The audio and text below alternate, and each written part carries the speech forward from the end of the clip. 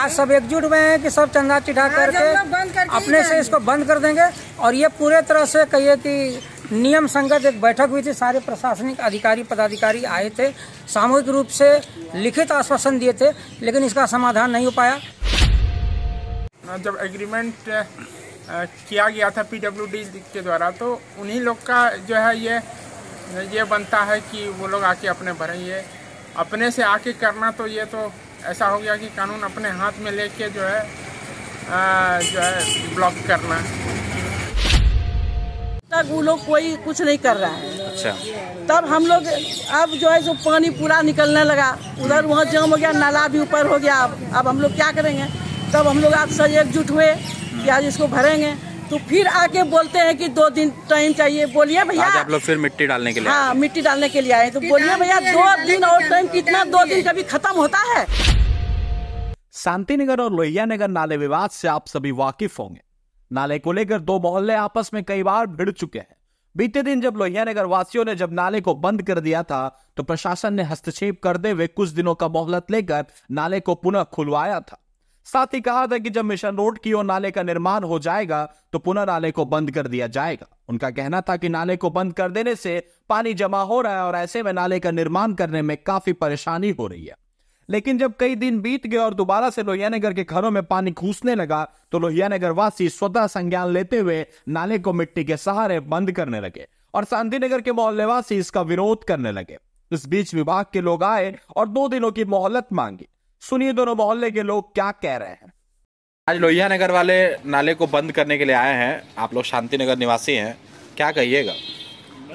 देखिए लोहिया नगर वाला ज़बरदस्ती कर रहा है। जब प्रशासन नाला को खुलवाया और ये बात हुआ था कि पानी जब उधर पास होना शुरू हो जाएगा तब नाला इधर बंद कर दिया जाएगा। लेकिन अभी तो नाला बन ही रहा है। और पानी सब दोस्तों उधर से इधर ही आ रहा है। तो फिर बंद करने का कोई प्रश्न ही नहीं उठता है। आज पानी बंद कर रहा है मिट्टी गिरा रहा पानी हम लोग के घर में झुकेगा गंदगी होगा। अब नाला का पानी किसी घर में अंगना में चला जाए तो बड़ा दिक्कत हो जाएगा। इसलिए वो जो भी कुछ कर रहा है मनमानी ढंग से कर रहा है इस उनका कहना है कि प्रशासन द्वारा ये बताया गया था कि 20 दिसंबर को दोबारा से नाला बंद कर दिया जाएगा। और जब प्रशासन नहीं की तो वो खुद से आके बंद कर रहा है। नहीं ये तो प्रशासन का काम है। किसी भी आदमी को कानून कानून व्यवस्था अपने हाथ में लेने का अधिकार क्या है? वो प्रशासन से जाके पूछता प्रशासन आता प्रशासन को हम अपना बात रखते हमारा बात को भी सुनते। सुनने के बाद तब उचित होता वो प्रशासन कार्रवाई करता। अब मोहल्ला वाले को जरूरती नाला बंद करने का अधिकार किसने दिया उसको? आप लोग यहाँ पर फिर से लोहिया नगर वासी यहाँ पर इस नाले को लेकर आए हैं क्या आप लोग करने वाले हैं? हम लोग का था कि पहले हम लोग इसको भरे थे। नाला को पहले हम लोग भरे थे वो पानी इधर से हम लोग का जाता है सब लोग यहाँ नगर हम लोग का घर घुस जाता है पानी। ठीक है। तो इसीलिए हम लोग जब नाला उधर बनने लगा तो हम लोग सोचे कि वो नाला का पानी उधर चला जाएगा।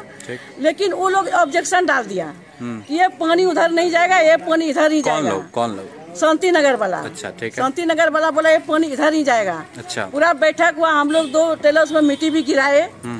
तो थोड़ा फिर हुआ हंगामा हुआ पुलिस सब आ गया लेकिन हम लोग का मिट्टी उठ गया। उठवा दिया वो लोग। उठवा दिया हम लोग और वो बैठे यहाँ। नाले को खोलवा दिया गया था। खुलवा दिया गया नाले को। फिर क्या कहा गया था पदाधिकारी पदाधिकारी बोला कि 21 दिसंबर का हम लोग टाइम लेते हैं। ठीक। 21 दिसंबर तक बंद जाने के बाद हम लोग अपने उसको भरेंगे। नाला बंद करवा देंगे। हाँ बंद करवाएँगे। लेकिन फिर 21 पार 21 दिसंबर भी पार हो गया। फिर जनवरी 21 भी पार हो गया और जन अट्ठाईस जनवरी हो गया। हाँ अट्ठाईस जनवरी हो गया। अभी तक वो लोग कोई कुछ नहीं कर रहा है। अच्छा। तब हम लोग अब जो है जो पानी पूरा निकलने लगा। उधर वहाँ जाम हो गया नाला भी ऊपर हो गया। अब अब हम लोग क्या करेंगे? तब हम लोग आज सब एकजुट हुए कि आज इसको भरेंगे।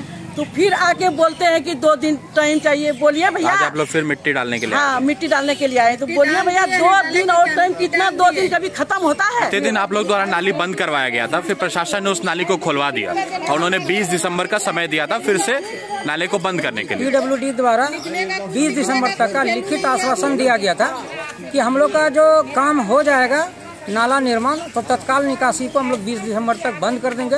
उसके बाद लगातार हम लोग संपर्क में रहे। हमेशा 10 दिन पाँच दिन 10 दिन पाँच दिन का समय लेते रह गए और आज एक महीना से ज़्यादा हो गया लेकिन वो निकासी बिंदु को बंद नहीं किया जा सका है।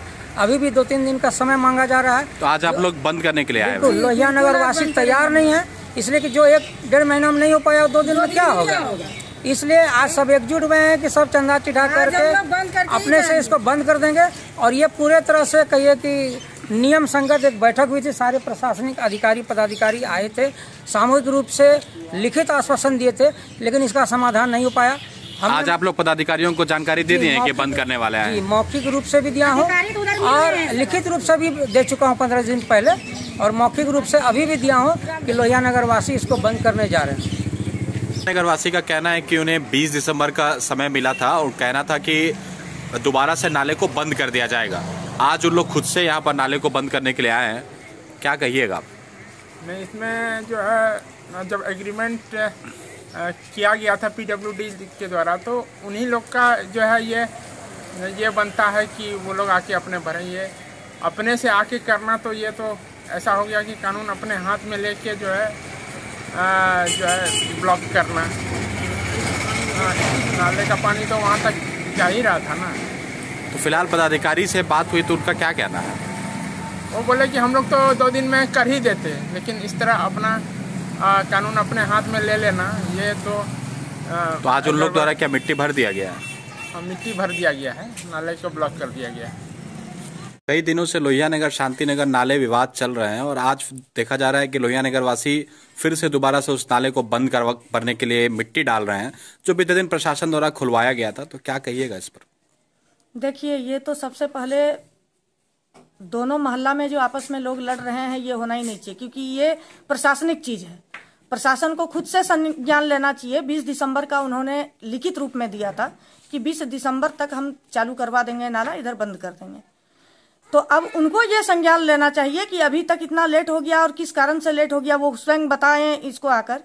लेकिन आज हमको जैसे ही पता चला, लोग कहे कि यहाँ पर आए हैं और मिट्टी डाल रहे हैं तो हमने स्कूटी को फ़ोन किया, एसडीओ से बात करी कि क्या बात है, इस तरह का आखिर हो रहा है, आप जो समय दिए और समय सीमा में आप काम नहीं करा पा रहे हैं तो इसका क्या कारण, कैसे लोग मोहल्ला क्या आपस में लोग लड़ते रहेंगे इस तरह से?